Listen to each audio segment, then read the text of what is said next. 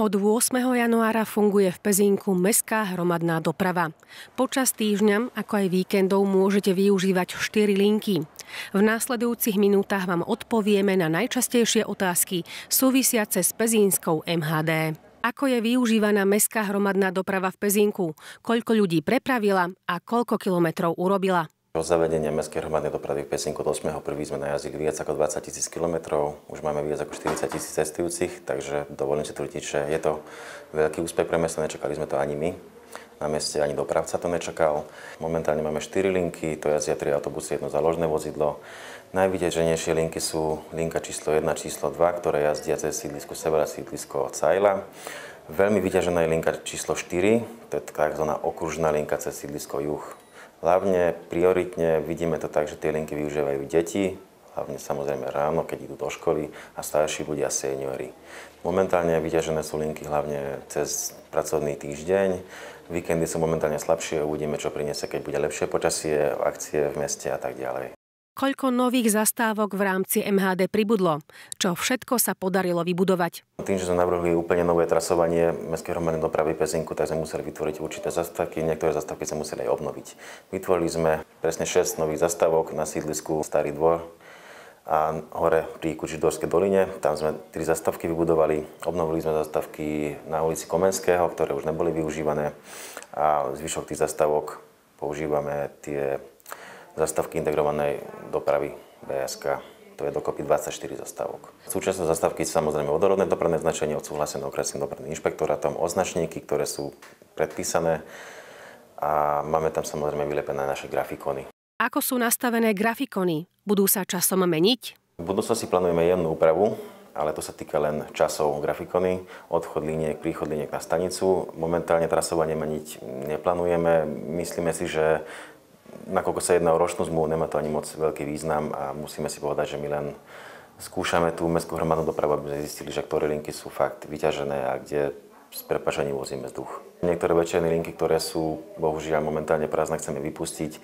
Mali sme požiadavky od obyvateľov, aby sme tie linky cez obedy medzi 11.30 13.30 posilnili, takže tieto linky hlavne na linke číslo 1 a číslo 2 budú posilnené výraznejšie. Jemné zmeny budú na linke číslo 4, tam e, približne o 7 až 8 minút tie linky, autobusy teda pôjdu skôr, aby ľudia stíhali lepšie spoje na autobusovej stanici a na železnice stanici. Cena lístka v MHD. Aké zľavy je možné uplatniť? Momentálne mestská hromadná doprava jazdí zadarmo od 8.1. až do 1. marca. Od 1. marca už bude spoplatnená táto služba. Výška cestovného lístka je 50 centov. Navrhli sme aj spolu s dopravcom tzv. celodenné lístky. Výška celodenného lístka je 1 euro.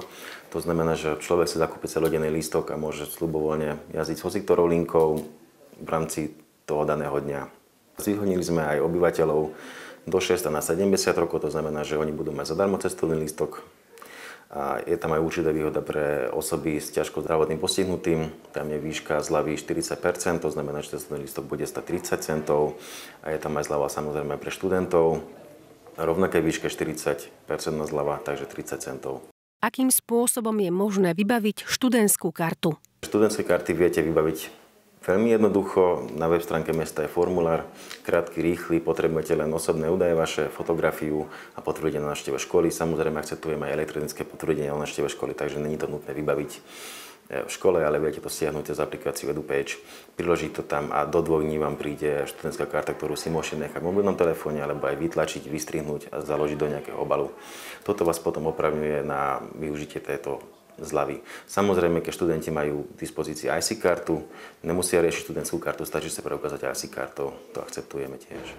Bude sa do budúcnosti MHD v Pezinku rozširovať? Áno, už plánujeme veľkú súťaž na 10 rokov plus 1 rok opcia, presne to, čo sme plánovali aj minulý rok. Bohužiaľ sa to vtedy ne, nepodarilo, neuskutočnila sa súťaž. E, už kreslíme plány, nové trasy na základe podnetov obyvateľov a verím, že tento rok tá súťaž dopadne úspešne a bude mať Pezinok mestskú hromadnú dopravu na 10 rokov a kvalitnejšiu, lepšiu ako má teraz. Momentálne rozšírenie mestskej hromadnej dopravy od budúceho roka plánujeme obslúžiť aj lokality, ktoré nie sú obslúžené. Najviac ľudia teda požadujú lokality na juhu, smerom na mestskú časť Grinava, konkrétne sa jedná nakupné centra, aby sme ich obslúžili. Máme nejaké požiadavky hlavne od rodičov na obsluhu pánskeho chodníka, aby sme zabezpečili prevoz detí prioritne do škôl. Takže tieto lokality chceme prioritne teraz obslúžiť. Samozrejme, by sme nechali linky aj cez e, sídlisko Cajla, aj cez sídlisko Sever. Všetky potrebné informácie o meskej hromadnej doprave nájdete na internetovej stránke mesta Pezinok. Treba si kliknúť na hlavnej stránke na ikonu služby obyvateľom a následne autobusová mestská doprava. Podnety, nápady, stiažnosti môžete zasielať na e-mailové adresy meska.doprava.msupezinok.sk ako aj mhdpk.azlines.sk.